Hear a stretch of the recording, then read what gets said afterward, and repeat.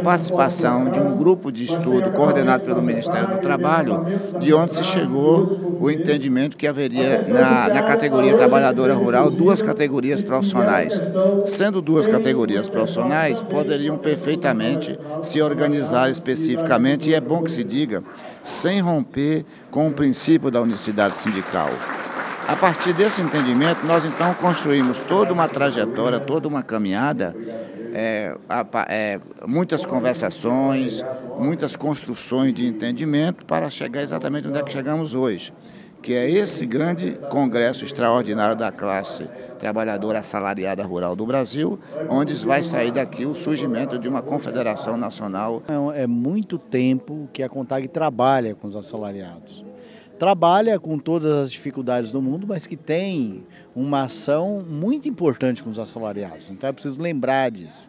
Nós temos mais de 500 negociações coletivas, nós acompanhamos essas negociações coletivas, nós trabalhamos no combate ao trabalho escravo, nós temos ação de combate à informalidade, de fronteira, um trabalho internacional com entidades internacionais. Então, é, ela tem uma ação muito importante que a gente precisa lembrar dessa ação. Isso fica na história e com a certeza de que nós teremos mais uma organização que somará na luta da classe trabalhadora é, que é uma a categoria específica dos assalariados. Então isso para nós também é confortante e é importante no processo da luta dos trabalhadores. E foi depois de todo esse processo de dissociação que foi fundada no dia 31 de outubro de 2015 em Brasília, Distrito Federal, a Confederação Nacional dos Trabalhadores Assalariados e Assalariadas Rurais, a CONTAR.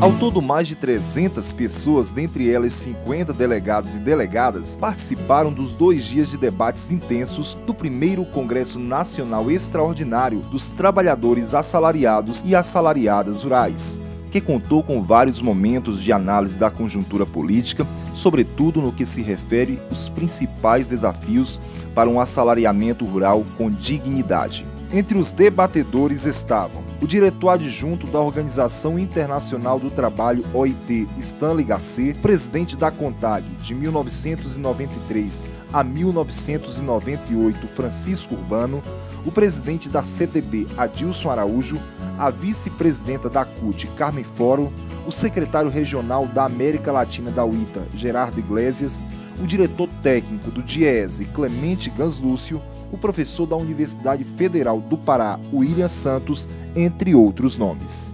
Porque há uma experiência acumulada de luta, já há uma experiência acumulada de articulação é, política nacional e internacional dentro do movimento camponês. Eu acho que nós, eu tenho muita esperança, muita expectativa que nós vamos avançar e qualificar nossas ações. É um grande desafio, nós sabemos, neste país, onde tem ainda muito autoritarismo no campo, mas eu quero dizer que esta confederação que está nascendo hoje não está sozinha.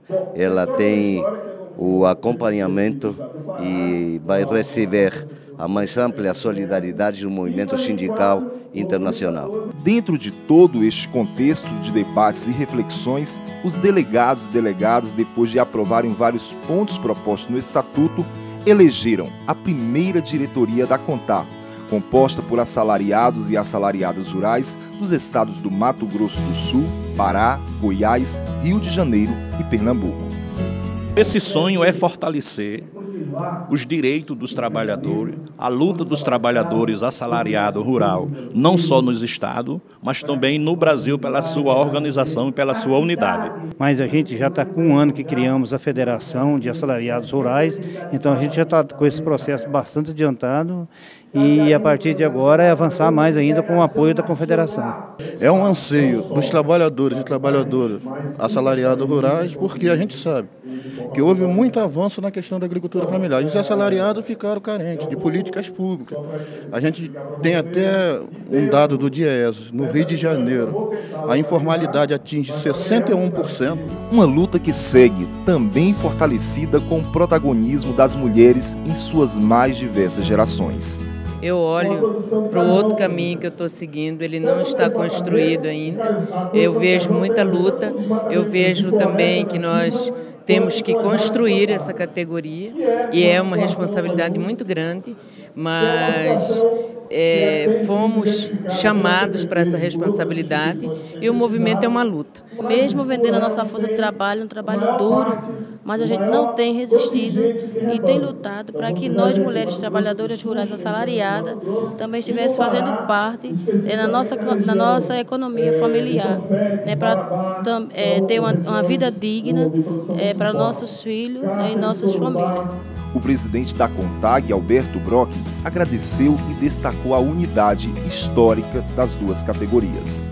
E o meu grande sonho, o meu grande, a minha, meu, meu grande foco é fazer com que essas duas organizações sejam verdadeiramente co-irmãs, possam trabalhar junto, possam se ajudar, é, possam, possam lutar talvez em estruturas, em trincheiras diferentes, mas tenham muito claro seus objetivos de que a gente nunca perca a perspectiva da grande unidade que trilhou a CONTAG nesses 50 anos para a gente fazer frente aos grandes desafios do futuro. Unidade também abraçada pelo presidente da Federação dos Empregados Rurais Assalariados do Estado de São Paulo, FERAESP, Hélio Neves mas o fato é que essa experiência, ao meu ver, é muito positiva, desde que a gente seja capaz de, na diversidade, construir a unidade. A disputa pela democracia real, democracia dos meios de produção, democracia do acesso à terra, a educação, a saúde, a previdência, essa é a democracia que queremos, esse é o Brasil que queremos. Eu acho que essa é a grande luta que a nova confederação e suas federações e sindicatos e a velha e boa CONTAG tem que continuar fazendo juntos. O presidente eleito para a primeira diretoria da CONTAG, Antônio Lucas Filho, convidou todos e todas assalariados e assalariadas rurais a estarem integrados ao sistema CONTAR. A luta contra a tirada de direito, a luta pela, pela reforma agrária, pela saúde, pela educação, formação, pela previdência social, ela é dos trabalhadores como um todo. Se mexe na Previdência, mexe para todos os trabalhadores do Brasil. Né? Atinge muito os rurais, porque os rurais, nessa luta, têm sofrido muitos anos e eles conquistaram e entraram na Previdência muito recente. Mas é uma luta de todos. Por isso que eu acho que essa unidade com a CONTAG e com outras entidades sindicais do Brasil, ela tem que daqui para frente se fortalecer. Aqui a gente vai tentar fazer isso e vai demonstrar para as pessoas, para os trabalhadores, para a sociedade, que é possível mesmo com a crise, mesmo com as, as dificuldades que o Brasil está atravessando, a gente alinhar os trabalhadores num propósito de, de mudança. Eu acho que é possível fazer isso. Tem capacidade, sim, para fazer isso. Mais federações de assalariados e assalariadas rurais já estão fechando o processo de dissociação e devem, em pouco tempo, integrar também o sistema contábil.